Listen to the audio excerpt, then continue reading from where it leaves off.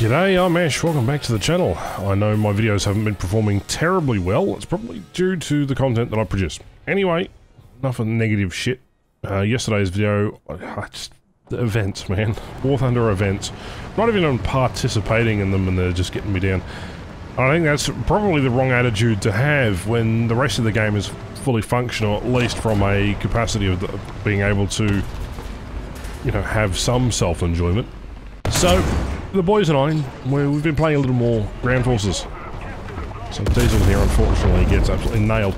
I did take out a a T-3485, and we're about to take out an IS-1. Gosh, I love the VFW. It's a rank 3 but battering 5.7 little monster. It's called the German Toaster for obvious reasons. You know, it's an 88mm Flak 37 mounted on a, a special chassis that they've built, and yeah, it's, it's good fun. You can have side skirts up, you can have side skirts down.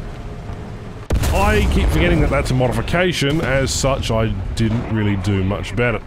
Southwest manages to kill that Centurion and also the TT4 that was hiding on the corner, but put a random shot that direction and managed to kill a M4A1.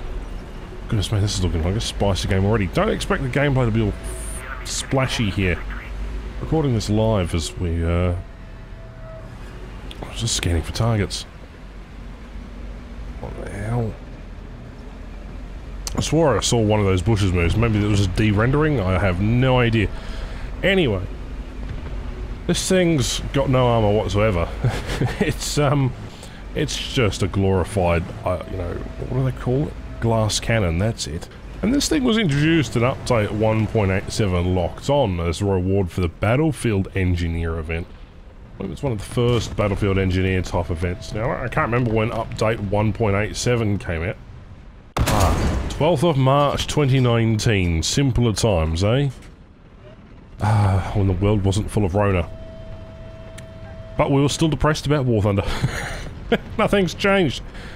Ah, alas. Good times.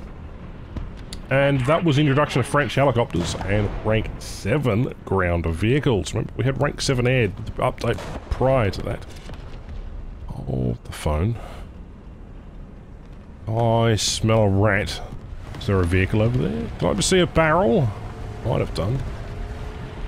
I really don't like this map. This map is horrible. It's one of the worst maps ever. I wish they'd just include the full extent of the map. Well, hello.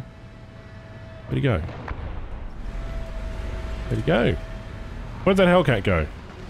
He was there and, well, he's, he's not run out into the field, has he? Um...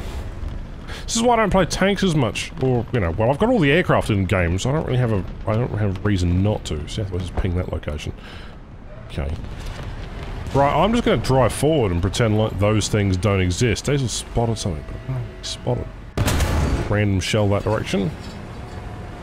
Again, got quite a lot of ammo on board. I have no idea what ammo to really take, so I just fire the primary shell up. Yeah, hold the phone. He's just, he's just behind there. There we go, Black Cat. Got him in the radiator, knocked out one of his crew members. Able to kill him? He's gone. He's long gone. Alright, let's push. Diesel spotted something. What's up ahead? Tiger? Oh, that's a dead wreck of a tiger. Always feel nervous about approaching the C point on this map, considering there are so many areas in which you could flank. Actually. Just gonna double check my six. Oh, phone. There was a thing there. Yeet. Okay, there's a T-34 85 out of the question again. That'll stop us from getting absolutely demolished. What do we got? Hello? Anybody in the forest in the right-hand side? Probably not. This thing's decent mobility means it can get anywhere and do anything, but on flat terrain you're basically sitting duck for any kind of type of aircraft possible. Some other guys are killing other things. Hang on. Just took a hit from the, the Hellcat. There's another tank that might be coming around that corner. Oh, hello. Shit, shit, fire! He was lucky I did not knock out one of my crew members.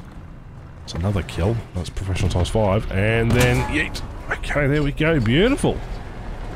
Well, that's that's a wrap. Nice bit of killing action there. Some long range, some close range.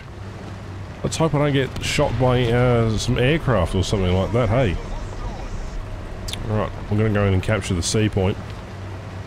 Going to gain a crew member back and hopefully everything goes alright. Oh, I'm hearing an aircraft. I don't like the sound of that. No! No! Oh, I spoke too soon. Can I aim the gun up and fire on him? No, I can't. Oh, shit. Um... We've got no we've got no choice other than to accept our death here. Let's hope that we can just hide in this corner as he's spinning around. Oh, we're dead. Welcome back. We've taken out the exclusive uh, Tiger P. I know a couple of stories about the, the, the Ferdinand Porsche's uh, Tigers. Apparently one of them, you know, knocked out an electricity grid. and it took the Germans a week to repair everything. Because those are, like, electric drives. Who would have thought electric tanks, you know? We had electric, like, engines and, like, uh, railway equipment, but Nobody thought electric tanks would be good on a battlefield. Here we are in 2022 and they're only just starting to experiment with, you know, electric IFVs and the countries are looking into, you know, ways that they can use electric power to, to help, you know, with patrols and all sorts of things. We've got drones and stuff, but I don't think they count. He's dead. Rip. And I mean, looking at War Thunder's projection, or at least for its future, do you think that, that, that, there will be a future for those types of vehicles? At least hybrid drives or whatever? It'd be interesting to see some of the charcoal like vehicles that they experimented with, or at least Germany experimented with. Uh, with kiln firing, wood fired uh, stuff. That what do they call them? The Peter tanks, if I remember correctly. Correct me in the comments down below. Essentially, you boil up a bunch of wood, you make some sort of like gas or something from it, and then that gas gets turned into something. And then that is what's used to drive vehicles. Basically, a, a big old steam engine mounted to the back of a vehicle. Looking for tanks. Where am I? Ash, stay on topic. Again, not entirely sure where or what who is still alive. Looks like our team's got all the capture points. This is a good thing, because I mean, it just allows us to really just chill. Big old bomb crater here. Someone was here. Again, I'm running through the middle of an open field. That is a P8. That is a dirty, big old honking P8. Let's have a look. At, look at the amount of machine gun fire coming up after him, eh? Nobody wants him around. He'll probably drop his bomb. I don't know where, but uh, I feel like we're almost spawn coming here. He's dropped his bomb already. Yeah, okay. There's another aircraft up as well. Where did he drop his bomb? Who knows? But I'm going to keep driving and uh, hopefully we'll get another kill. A lot of you in the comments of yesterday's video were speculative as to why I said that it was a waste of time, at least when talking about Operation Summer. I mean, yeah, generally speaking, War Thunder's events have taken a considerable amount of time, but as someone who has participated in almost every single major event since 2014, it's been a long while. Uh, it's getting a bit confusing to keep up with things and and uh, making videos on things just isn't as they once seemed. So this week we're going to do an American Truck Sim video. If you like American Truck Sim, let me know in the comments down below. Otherwise, that'll be a fun journey where we uh, go have a bit of an explore. I'm not going to spoil it with the ins and outs of that just yet, but there's that to look forward to. Still got to edit it, it's like three hours long.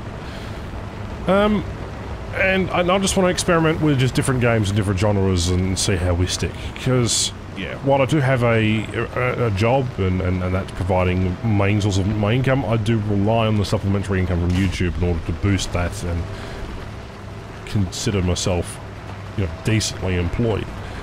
Um, outside of that, though, you know, save yourself you know, 3% on, on anything in War Thunder. And, you know, range up. That guy should have bought my decal. There we go. That is, uh, that's what he should have bought. what a beautiful decal it is, and that's the end of the match, I suppose. Yeah. Three capture points. We're all pushing in on their spawn. I'm basically in between two spawns right now. Yeah, no. I'm, uh, spawn securing, not spawn camping. It's a terminology I, I'd rather call it. But hey, Thank you much for watching. I really appreciate it if you made it this far. Toss me a like, subscribe for more, and uh, I will see you in some videos soon.